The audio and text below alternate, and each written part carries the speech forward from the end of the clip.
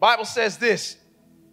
To the Jews who had believed in him, Jesus said, If you hold to my teaching, you are really my disciples. Then you will know the truth, and the truth shall set you free. And the church said, They answered him, We are Abraham's descendants and never been slaves to anyone. How can you say that we shall be set free? Jesus replied, Very truly, I tell you, everyone who sins is a slave to sin. Verse 35. Now, a slave has no permanent place in the family, but a son belongs to it forever. Oh man, if you knew how good that was, you would jump up and shout. A slave has no permanent place in the family, but a son belongs to it forever. Verse 36, the one we've been trying to get to for weeks now. So if the son sets you free, you will be free indeed. I'm gonna try that again for all my saints. Here we go. So if the son sets you free, you will be free indeed. I love that. Hey, if you're taking notes in this fourth part of Free Indeed, I've entitled it this Free for Real. Free for real. Let's, I like that. For real, for real.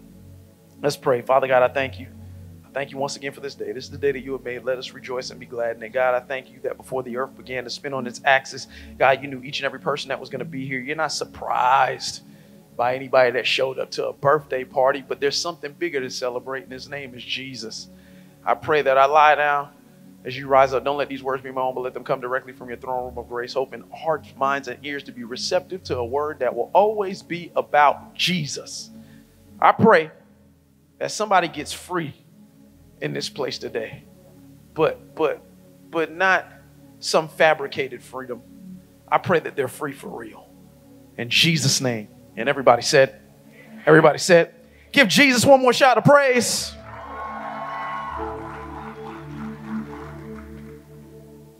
Week one, we started off this, this series, and um, I started off with a message. I entitled it, What Do You Know? What do you know? Um, the Bible says, You will know the truth, and the truth shall set you free. Well, here's the reality depending on the truth that you know, it's going to dictate what kind of freedom you live in. See, some people have their truth or my truth, and if you live in your truth, all it's going to do is put you in bondage. Your truth can't free you, but the truth can set you free. You can live in your truth all you want to. If, if, if you live in your truth, you make yourself the center of the universe. But how many of you know that Jesus is the King of Kings, Jesus is the Lord of Lords, and Jesus is the only universal truth that will set you free? If you believe that, say amen. So we started talking about what do you know, and then the following week we had a message called No Longer Slaves. And we talked about the fact that the the the Israelites, man, they they were wild because they said we're descendants of Abraham. We've never been slaves to anyone. But that statement in the context uh, of the day did not make any sense because they were telling Jesus they had never been slaves. But you and I know because we read the book that they've been slaves to the Egyptians. And the whole point of it is that you can't operate in freedom when you're delusional. They were delusional. They believed something that was not a reality. So you got to be honest with yourself and you got to admit it. Jesus is the only thing that can save you from yourself. And we talked about the fact that it's the small decisions that you're going to make in 2020 that's going to make it better than 2019. The little bitty decisions each and every week. And then last week, for our worship night, my dear wife preached. Could we give it up for Mrs. Wilson? Thank you once again, baby girl, for standing by my side from day one in this. There is no cool church without you. So, can y'all give it up for Mrs. Wilson one more time? Love you. She preached a message called Suddenly Free. I mean, you know we serve the God of suddenly? You could be you you could be a slave to something forever, and suddenly God can free you. Suddenly God can break an addiction. Suddenly God can save your marriage. Suddenly God can bless your bank account. Suddenly God can bless you with the career you were looking for. Suddenly God can change your life. But here's the problem: you can't just get free suddenly. You got to continue to walk in that freedom once you get it. Some people get freed suddenly and then run back to the same change that God suddenly freed them from. In order to stay free, you got to continually walk in your freedom. And, and, and, and, my wife blessed us with that word last week. And now I asked myself this question in, in week four on the anniversary of Cool Church's birth Are we free for real? Like, there's so many people, like, we come and we like do the church thing, but like, are you really free? Maybe you come down to an altar and like you felt good when you were here, but as soon as you walked out the door, something challenged your freedom. And you didn't feel the freedom that you felt when you stood down here.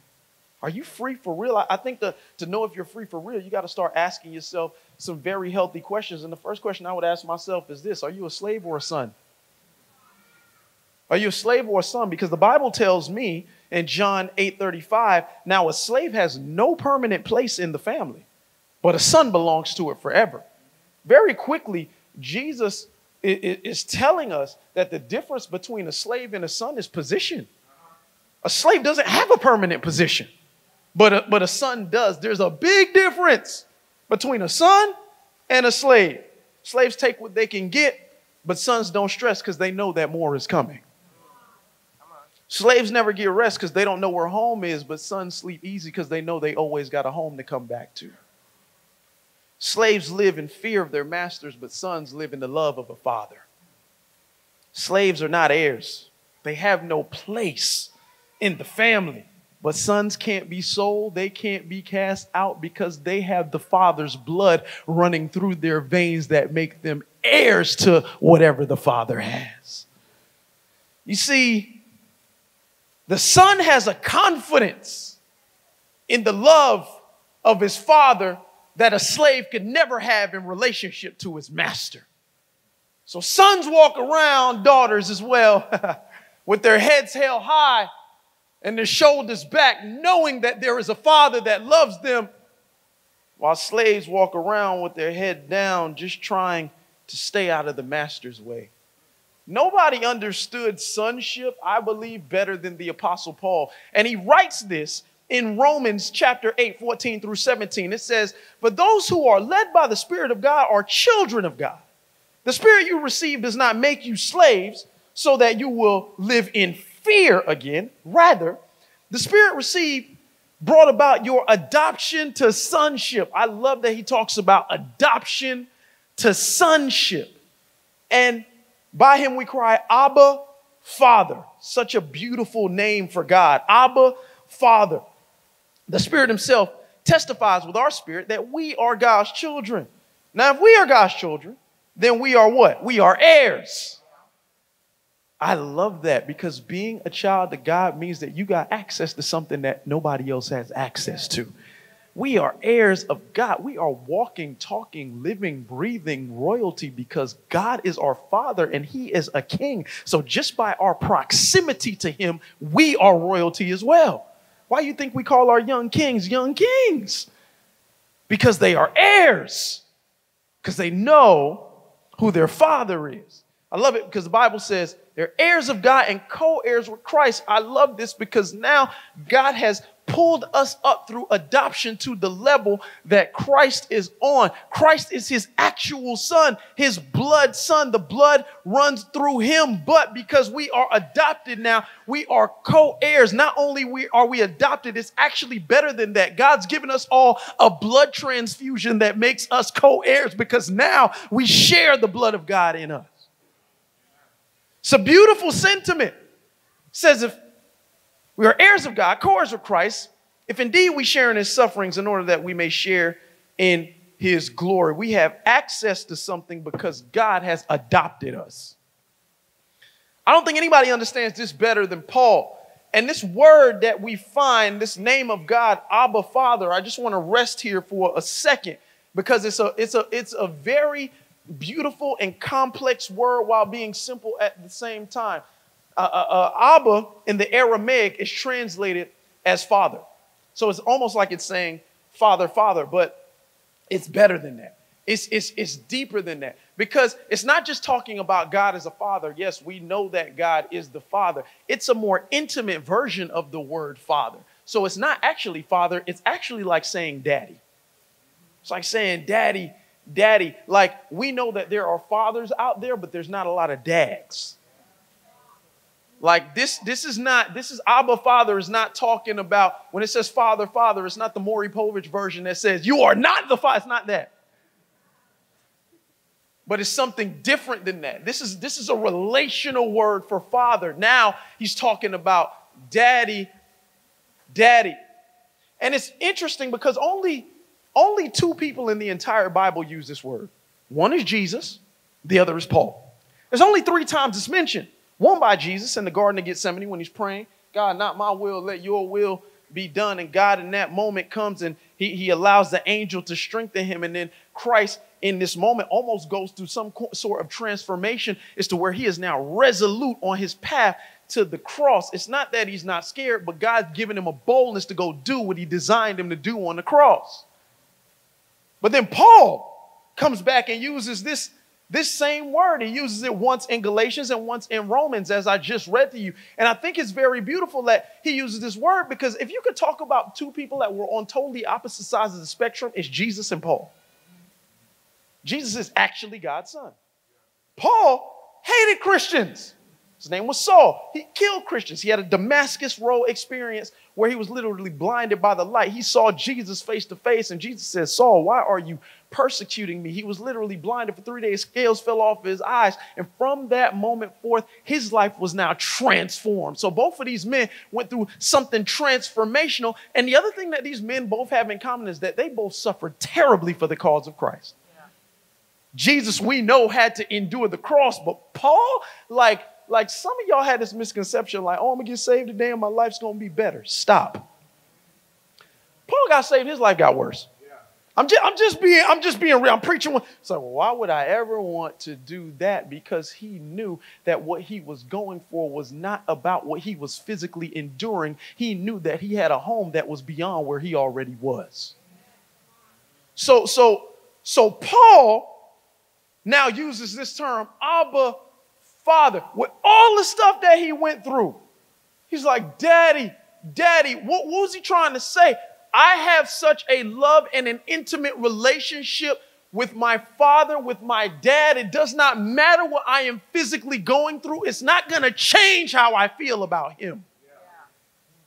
He's my dad. Good or bad, he's my dad. That's what Paul is trying to let us know. And it's the same reason Jesus said, Abba Father. He's like, hey, cross or no cross, you are still my father. Men that had to go up against such intense persecution understood that God was a father. And I would say Paul even more so because Paul, like you and me, was an adopted son. It's one thing for your actual blood son to know. It's a whole nother thing for your adopted son to call you daddy, especially when you had to go through a mess. I, I understand this verse in a little bit of a different context, but I have clarity because um, I have a, a now nine year old who in two weeks will be a 10 year old daughter, and yeah. her name is Valencia, aka Vava Voom Wilson. But if you did not know, if I did not tell you, because I don't usually call her by what the world would call her, I just say she's my daughter, but in actuality, she's my adopted daughter. We adopted her from the beautiful island nation of Haiti about six years ago, and she has been the greatest blessing in me and my wife's entire life. So when you see me talk about my daughter, I, I never say my adopted daughter. I say she's my daughter because she's my daughter. And I wish you would mess with my daughter because I will take my pastor hat off and put my Carol City hat back on. You don't want it.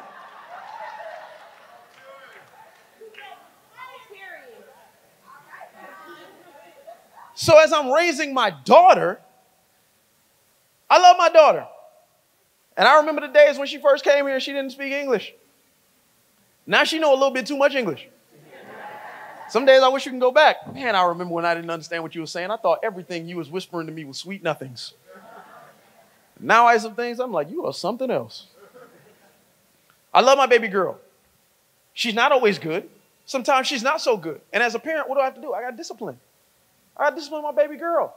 Why do I do it? Not because I don't like her. I love her. And I'm trying to guide her on the right path. By the way, if you need help with parenting and you want to understand some better tips on how to parent, we actually have parenting classes here at Cool Church taught by Lucy and Leo. You can sign up for them. You ain't got to beat your kids into oblivion, man. There's ways, there's things that you can do. I know. It ain't just you, it's me. Got parenting classes. But as I try to as I try to parent my daughter, there's moments where I have to discipline her.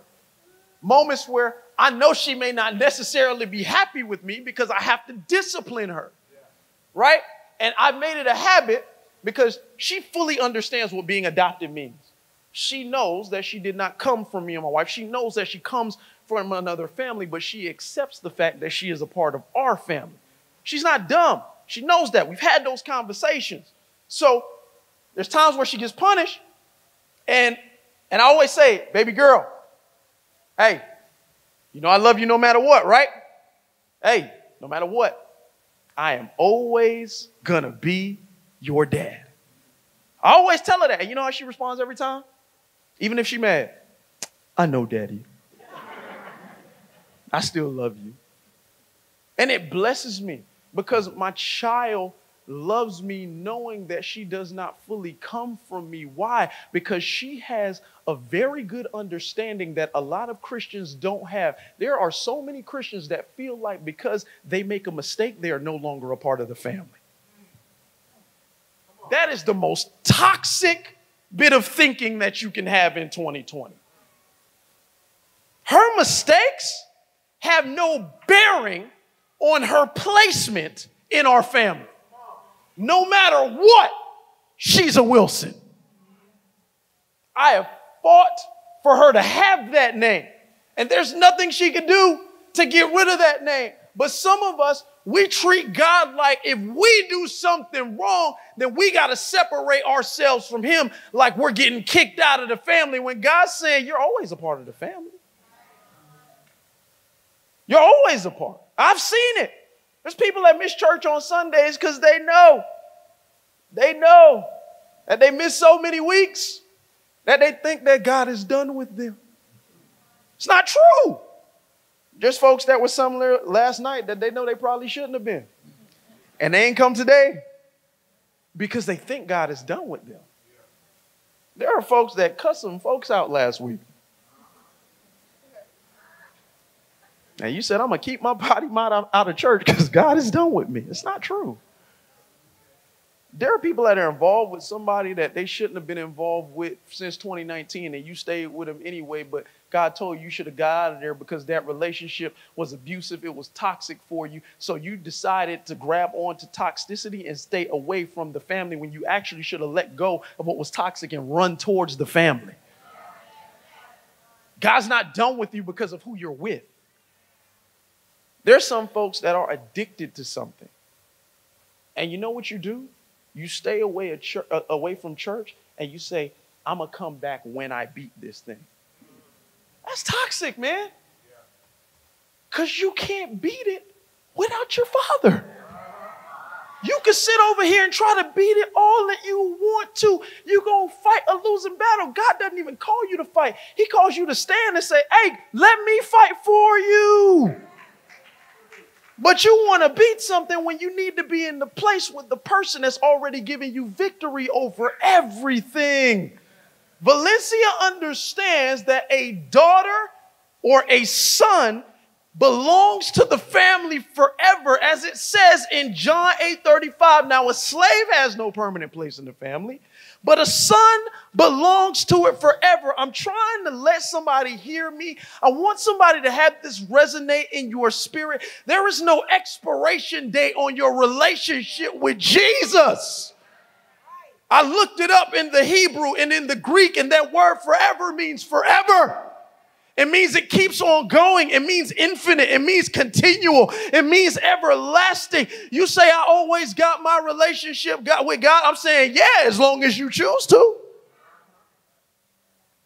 See, some of y'all have given up on God when He's never given up on you.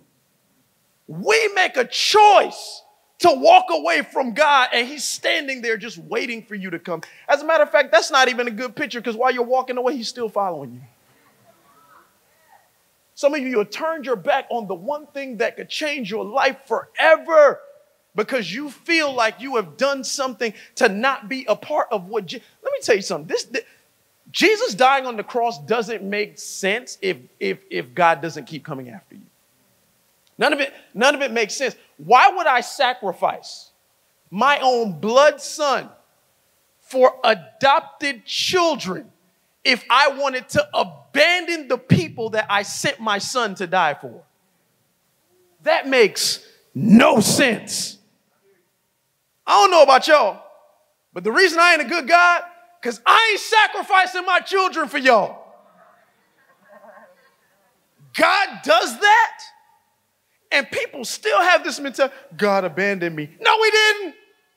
You abandoned Him. You left him standing there waiting on you, loving on you, and he still pursues you because he loves you. Stop taking yourself away from God when he's never taken himself away from you. You see, a slave will continue to go back to things that are bad for them, but a son knows to stay home even when it hurts. Are you a slave or a son? And once you've asked yourself these questions, you have to really think about man, am I really free? Am I free? What the Bible says. The bank come up, John 8 36. So if the Son sets you free, you'll be free indeed. The Son, the Son sets you, you're free indeed. How, how do you know if you're really free? This is the question that we started with. I know believers that go through the motions of Christianity, but still don't know if they're really free. Say, what are you talking about? I know folks whose worship has become a show to convince everybody they are free, but behind closed doors, they're struggling when nobody sees, going through the motions. I know folks whose prayers are loud and bold to mask the fact that they don't even have faith in what they're actually praying for. You're just going through the motions. I know folks who show up every week because you know it's the right thing to do, but you don't feel like you're seeing the impact the other six days a week. You're just going through the motions. And listen to me, church. If you're not careful, you can become a slave to the motions of Christianity and not be freed by the movement of Christ. If you're not careful, you become a slave to the motions. I, let, me tell you something. I live in a place of, of humility about what God has done. Anybody on team knows, I always say, I don't want to be jaded by this. Because I know that without Christ, I am nothing. So the Bible says, who the Son sets free. Who the Son.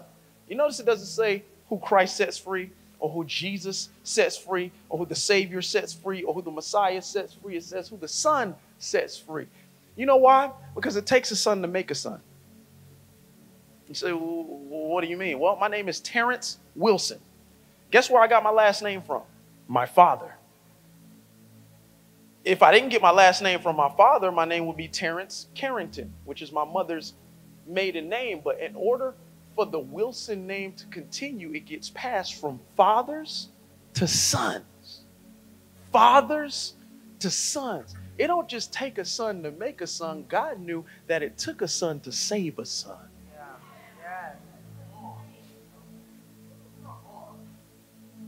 See, we are saved based upon the actions of God's son Jesus, which is why we are adopted into this family. Had it not been for Jesus, the adoption would not be complete because Je- Jesus loved us so much, he gave us his name, his last name, Jesus Christ. What are we? Christians. Takes a son to make a son. Took a son to save some sons, to save some daughters out there. Jesus loved us so much, he gave us his name. You don't have to feel like you're on an island because you're adopted. You don't have to feel like the odd kid out. Jesus said, I died to make you part of this family who the Son sets free. Stop there.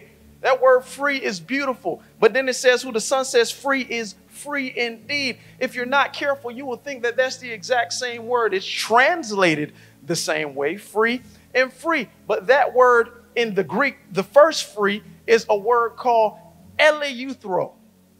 Eleuthero in the Greek.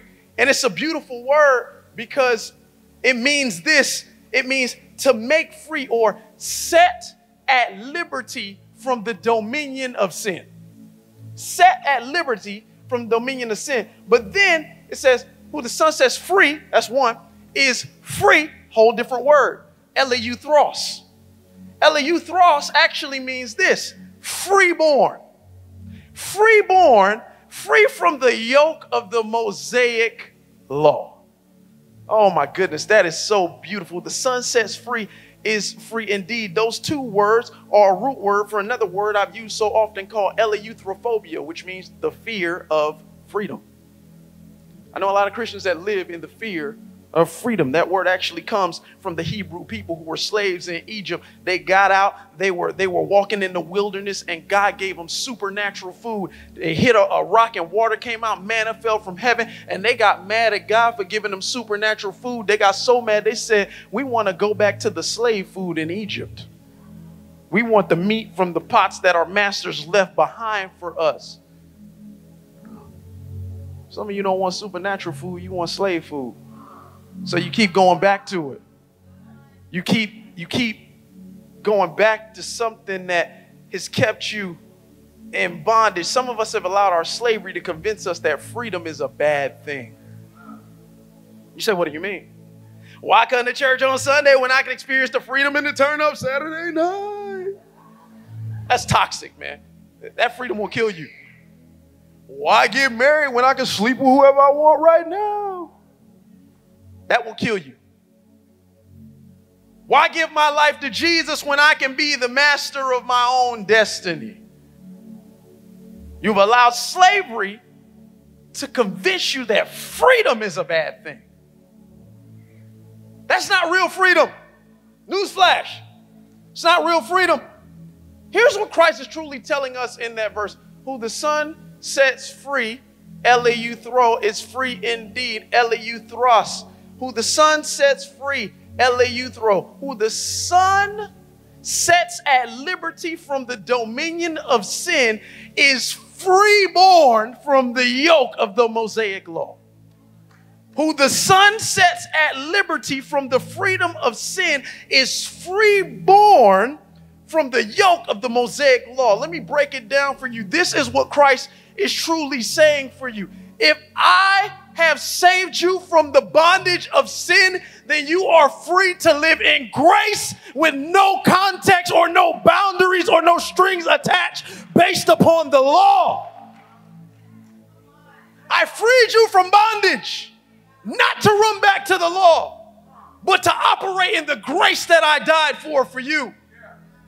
So if the Son sets you free, you are not reborn, you are freeborn.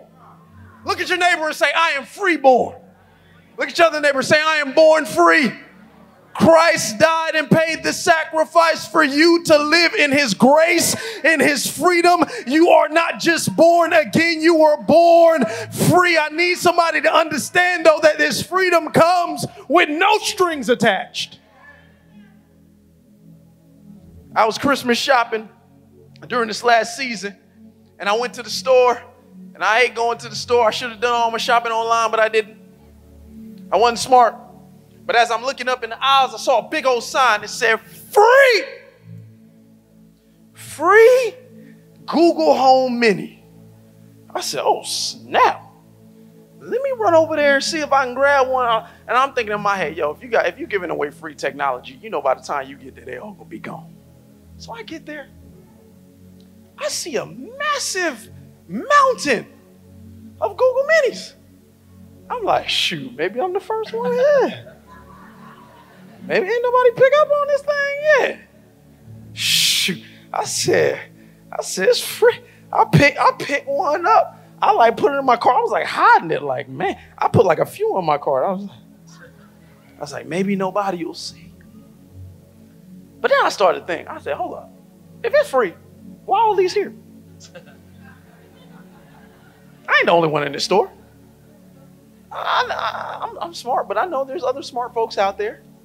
And I look, and I said, I looked at the sign again. It said, it said, it said free, big, it's massive. It's a tiny little print.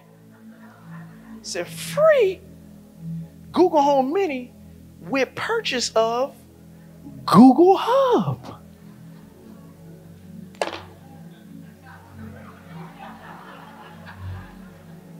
See, see, see, they tried to get your pastor. They thought they got me, but see, I'm smart. I got my education. I read the fine print. They thought that they was gonna get a brother, but they can't fool me. You want me to pay five times the amount for this just so I can get this for free? That's not free. I just want to give a simple word to somebody. There's nothing that's free in this world. There is not one thing in this world that is free. The truth is, the world doesn't give you anything for free. But the Son is different because His freedom, it came at a cost, but not at a cost to you. You see, the Son died so that we could be free and free indeed. It's not free with the purchase of, it's not free after instant rebate, it's not free with strings attached. You don't have to do anything. All you have to do is receive the freedom that Christ died for. See, you know you're truly free when you know you don't have to, you get to.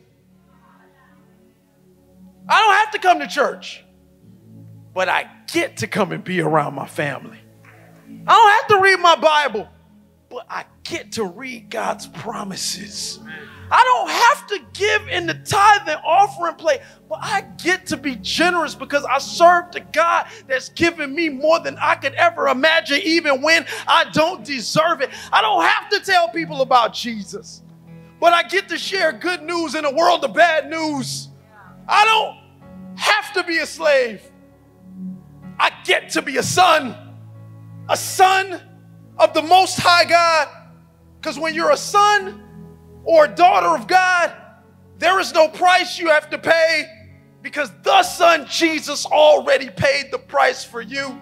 So when it says, so if the Son sets you free, you will be free indeed, it means you aren't just free, you're free for real. You're not just free in the world standards because the world will always try to attach something to your freedom. Anytime somebody tries to free you in the world, they're going to ask you for something back. But Jesus is not like that. He is free. He's free for real. No cost to you, no stipulations, no fine print. He died to give you freedom. Let me ask you are you open enough to receive it?